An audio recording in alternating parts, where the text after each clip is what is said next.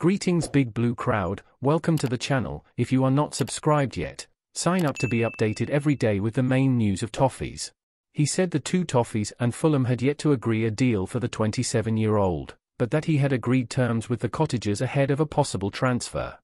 Demarai Gray has missed Everton's final three days of training after agreeing to terms on a transfer from Goodison Park, according to Fabrizio Romano.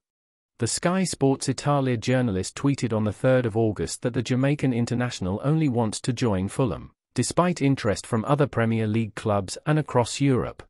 This is not ideal. We know it's not the ideal situation for anyone to have a player at the club who is so desperate to leave that he doesn't even want to train with the rest of the squad anymore.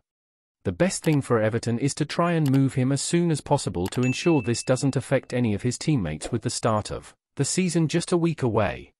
It has also been reported that the Toffees are looking for a fee well beyond £10 million for the Jamaican, so they will likely be eager to transfer him if not just Fulham but any other club come close to that valuation.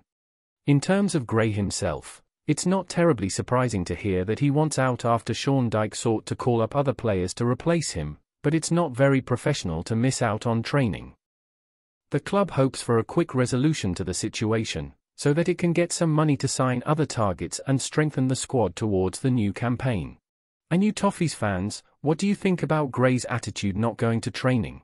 Leave your comments below, was it a correct attitude by the player?